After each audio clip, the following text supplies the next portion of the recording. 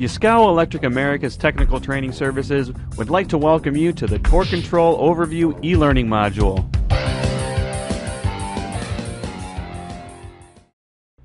My name is Paul Anderson, and I will be your instructor today as we go through this e-learning module. This e-learning module will provide a basic overview of torque control and how to set up torque control for an application using the Yaskawa F7 drive. During the course, we will cover three points an overview and description of torque control, analysis of a common torque control application, and finally, how to program the drive to run in torque control mode. In simplest terms, torque control is a means of regulating motor torque instead of motor speed. Most people are familiar with speed control. A speed reference is supplied to the drive, and the drive runs the motor at the commanded speed. With torque control, a torque reference is supplied to the drive, and the drive runs the motor at the commanded torque. Torque control is used in applications where the force applied to an application must be controlled. Think of a garden hose reel. When winding the hose, you must be careful not to allow too much slack in the hose, or else the hose will not wind properly. This requires someone to control the amount of tension, or pulling force, on the hose as it is wound. Torque control can also be used in conveyor systems where one motor controls the speed of the conveyor and the other motors are used to help share the load by applying a certain amount of force on the conveyor belt. This is known as a helper drive. To understand torque control, it's helpful to first take a look at a speed control example. The system above is a simple conveyor moving some product. An operator will provide a speed command for the material flow. In response, the motor will pull the conveyor at the commanded speed. As more product is loaded onto the conveyor, the motor must develop more torque to meet the demand. Thus, the drive controls the motor speed by changing motor torque in response to the load. Three ideas that will be analogous to torque control can be seen in this application. First, a speed reference is used to dictate how fast the conveyor will run. This is the variable the drive controls when in speed control. Second, the motor torque varies to meet the load requirements. As the load increases, the motor torque must increase to maintain the speed the operator wants the conveyor to run at. If the load becomes very light, the motor torque must decrease so the speed doesn't go faster than the speed command. Third, a torque limit can be applied to the application. Just as a mechanic uses a torque wrench to tighten a bolt to a specified level, a torque limit can be used to prevent the motor from operating above a certain level. This is done to protect equipment from being damaged. Now let's look at an everyday torque control application. Everyone is familiar with driving a car.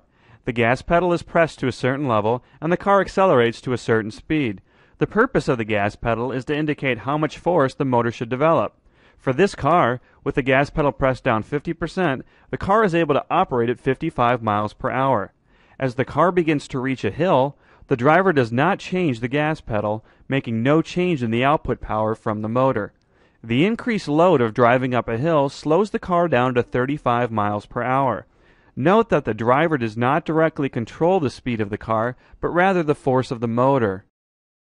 Again, three important ideas can be drawn from this example. First, a torque reference is used to dictate how much force the engine will apply to the wheels. Second is understanding how motor speed acts in response to an incline or an increased load. As the motor reaches a hill, the car begins to slow down because the same amount of force is applied from the motor even though the load is increased because the car is now going up an incline. However, when more force is applied by the motor on flat ground, the car will begin to accelerate. This is because motor speed is dependent upon both the motor force and the inclination. Lastly, a speed limiter may be built into the car. The purpose of the speed limiter is to prevent the driver from operating the car at dangerous speeds that may potentially cause damage. Now let's look at an industrial torque control application. This is a simple paper winder system consisting of an unwind roll that material is loaded from, a rewind roll that material is loaded onto, and a tension sensor, or dancer, that measures the tension in the paper or web as it is commonly referred to. Paper flows from the unwind roll to the rewind roll, requiring both motors to turn in the same direction. In order for the paper to be wound smoothly on the rewind roll, a certain amount of tension must be maintained. Consider holding a piece of paper taut in your hands. In order for the paper to be taut, both sides of the paper must be pulled on. Similarly, both motors must pull on the paper, but in opposite directions.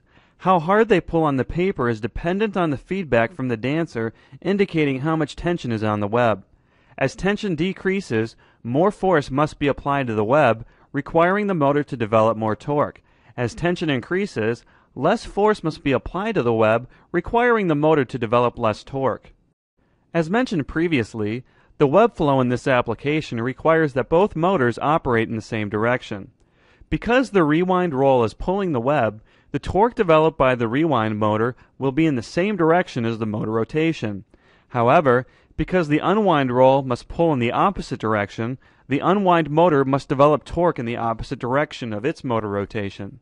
On this particular application, one motor must control the web speed and the other must control the web tension.